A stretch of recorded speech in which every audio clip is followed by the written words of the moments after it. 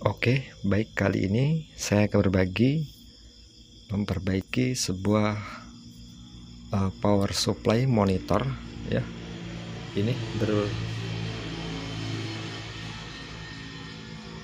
bermerek Primera, teman-teman. Jadi kerusakannya itu mati total. Jadi saya akan ceritakan tahapan uh, cara memperbaiki jika menemui monitor mati total jadi langsung saja ke power supply ya. Power supply nya seperti ini teman-teman. Ya ini adalah power supply uh, sebuah monitor.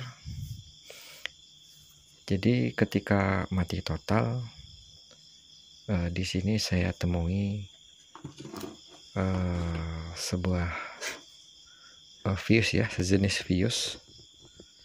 Ini teman-teman ya fuse-nya itu putus. Dan setelah saya beli bohlam saya sambung seperti ini. Ini adalah lampu bohlam Philip 75 watt ya 75 watt. Jadi setelah disambungkan itu e, begitu dicolokin ke listrik ya itu lampunya nyala terang. Jadi setelah nyala terang tanpa sengaja saya lihat eh, pada bagian power supply saya temukan eh, sebuah elko ya ini bernilai 82 mikro 450 volt dalam kondisi ya meledak ya ya hamil ya seperti itu teman-teman. Jadi saya pikir eh, power supply ini kerusakannya disebabkan oleh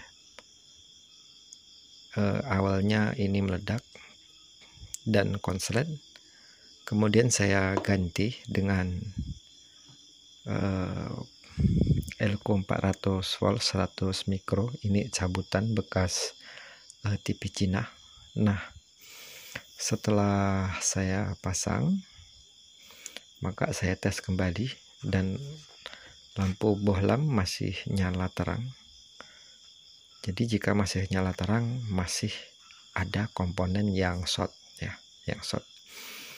Kemudian eh, saya cabut dan saya ukur pada bagian fat ya.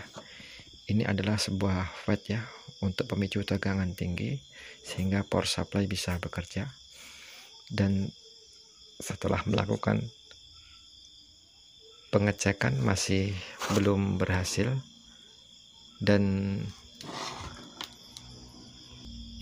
fatnya itu uh, tidak short. Ya tidak short.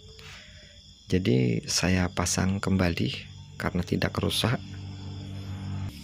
Jadi setelah melakukan beberapa uh, pengecekan kembali uh, ditemui sebuah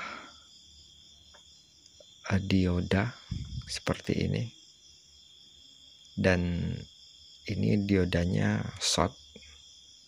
Ya jadi awalnya uh, short juga. Setelah melakukan penggantian dioda yang short ya ini. Saya ganti dengan punya cabutan TV bekas LG ini teman-teman. Karena eh, bodinya yang besar ya. Karena bodinya besar jadi saya solderkan di di bawah PCB ya di balik PCB dan saya tes kembali.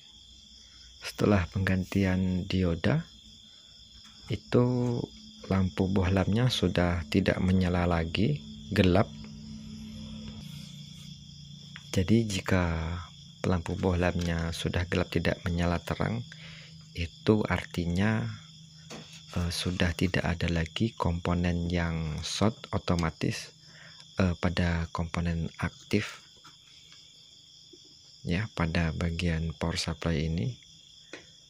Dan saya mencoba mengukur uh, tegangan di bagian output ya. Di sini ada beberapa tegangan output teman-teman bisa lihat di ini teman-teman ya. Ada 5 volt ya switch on off.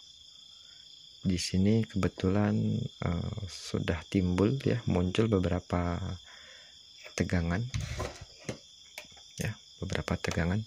Sekarang kita coba ukur tegangan itu. Ada berapa volt oke kita colokin dulu ke listrik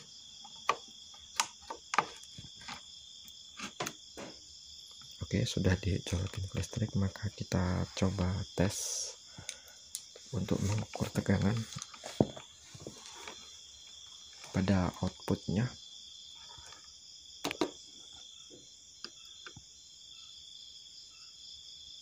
Oke, di sini sudah muncul tegangannya 5 eh, volt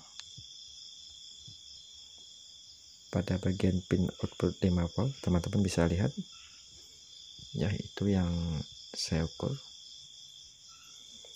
Tetapi ini belum dicoba pada layar monitornya. Apakah power supply ini sudah bekerja dengan baik? Maka kita coba pasang pada layar monitornya.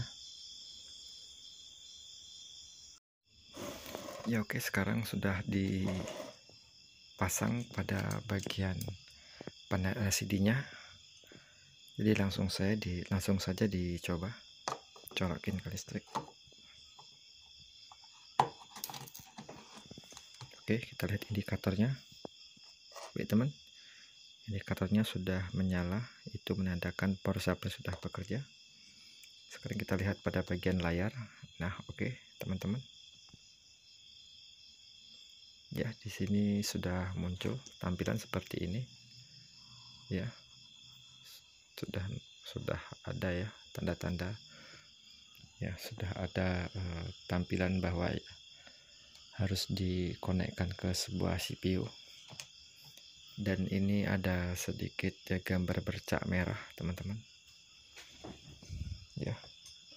Untuk yang gambar seperti ini uh, Insya Allah nanti tutorialnya akan hadir setelah ini ya teman-teman kali ini saya hanya berbagi memperbaiki yang mati total. Oke teman-teman. Uh, semoga tutorial ini bermanfaat ya teman-teman. Jadi jika ada pertanyaan silahkan uh, komen di kolom komentar. Ya sebisa mungkin ada waktu uh, saya akan jawab ya semoga bermanfaat. Jangan lupa di subscribe ya agar teman-teman tidak ketinggalan dengan informasi video terbaru reparansi dari saya berikutnya. Wassalam salam kompak selalu